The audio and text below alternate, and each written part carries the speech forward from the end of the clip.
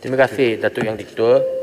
Soalan saya minta Perdana Menteri menyatakan apakah ada cadangan daripada pihak kerajaan untuk menambahkan kawasan pilihan raya atau persempadanan semula kawasan pilihan raya selepas pertambahan pemilih yang banyak pada suku ketiga tahun 2021. Sila berikan rasional terhadap keputusan kerajaan. Terima, Terima kasih. kasih. Yang Menteri.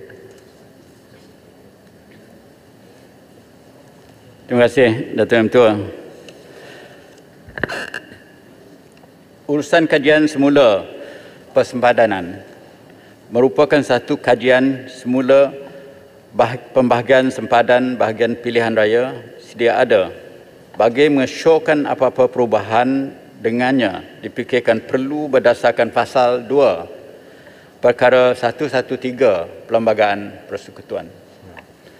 Perkara 113 uh, Perlembagaan Persekutuan memberi kuasa kepada Suruhanjaya Pilihan Raya untuk melaksanakan kajian semula sempadan-sempadan setiap bahagian pilihan raya di negara ini yang terbahagi kepada tiga unit berasingan mengikut Undang-Undang Pasal 6 Perkara 113 Perlembagaan Persekutuan iaitu Datuk Yang Ketua unit negeri-negeri Tanah Melayu termasuk wilayah Persekutuan Kuala Lumpur, Labuan dan Putrajaya.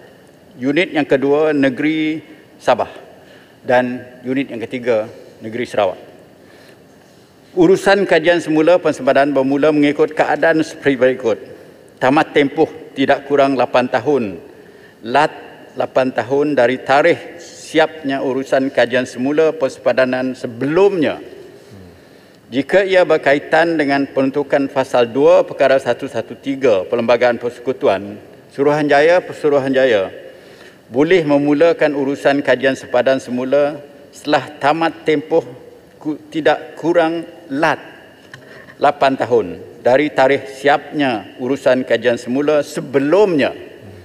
Namun sekiranya SPR memulakan urusan berkenaan ianya perlu selesai dalam tempoh dua tahun.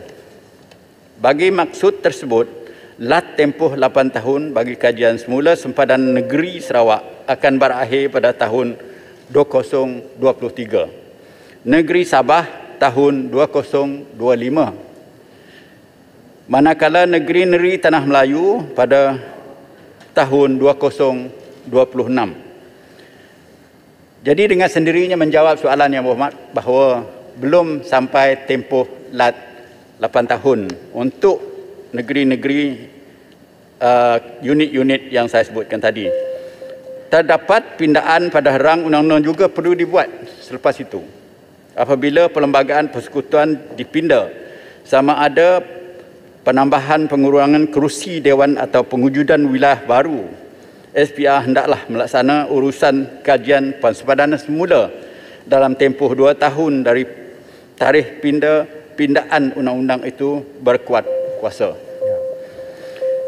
Secara dasarnya, setiap pemilih akan mengundi berdasarkan bahagian pilihan raya yang telah ditetapkan bagi mereka.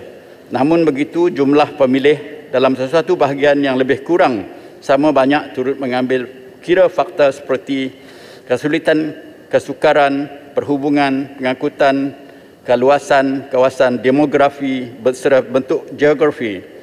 Setiap bahagian adalah unik dan berbeza dari segi demografi, keluasan kawasan dan bentuk geografi. Setiap satu bahagian tidak boleh disamakan atau dibandingkan dengan bahagian yang lain. Jadinya Datuk Ketua belum ada pencangan untuk membuat kajian. Terima kasih. Terima kasih.